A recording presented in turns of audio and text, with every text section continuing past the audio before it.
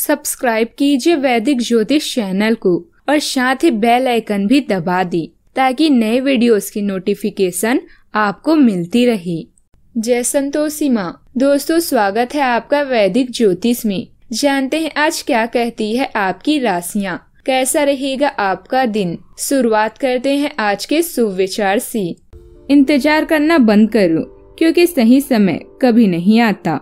सिर्फ़ खड़े होकर पानी देखने से आप नदी नहीं पार कर सकती।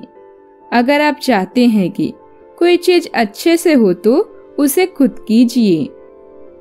आज का पंचांग 11 मार्च 2020 दिन बुधवार। चैत्र मास के कृष्ण पक्ष की द्वितीय तिथि, दोपहर तीन बजकर तैतीस मिनट तक रहेगी। इसके उपरांत तृतीय तिथि प्रारंभ हो जाएगी।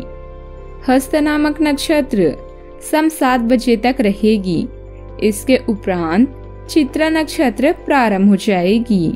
आज का राहु काल अर्थात अशुभ समय। दोपहर बारह बजकर ग्यारह मिनट से एक बजकर चालीस मिनट तक रहेगा।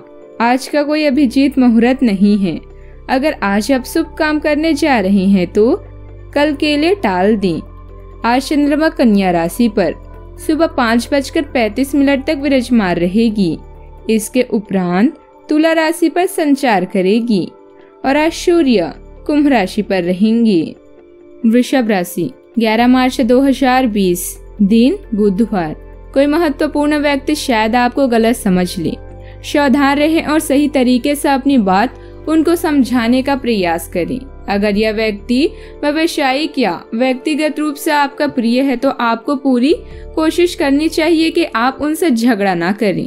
झगड़े से भविष्य में परेशानी ही होगी। आप उन बदलावों के बारे में सोच रहे हैं जो शायद आपके काम और आपकी सेहत के बीच संतुलन ला सकती हैं। आप अपने किसी करीबी दोस्त से इस संबंध में मिल करके समाधान पूछ सकते हैं।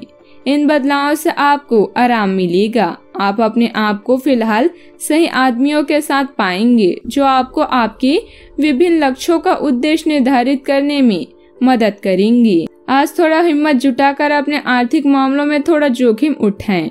कुछ ऐसे कदम उठाएँ, जिससे आपको आर्थिक सुरक्षा मिले। समय बदल रहा है। अपने व्यवसाय की नीति भी बदलिए रातों रात मालामाल होने की मत सोचिए। लेकिन कमाई के लिए कुछ नए रास्ते तो तलाशिए ही। आप समझदार भी हैं और सक्षम भी। इसका फल उठाएँ। आज थोड़ा संभल कर रहें। लव लाइफ की बात करें तो आपका पिछला अफेयर आपको अभी भी परेशान कर रहा है, और ऐसा कई बार हो चुका है। अपने आप को पिछले कड़वे अनुभवों से परेशान ना होने दें।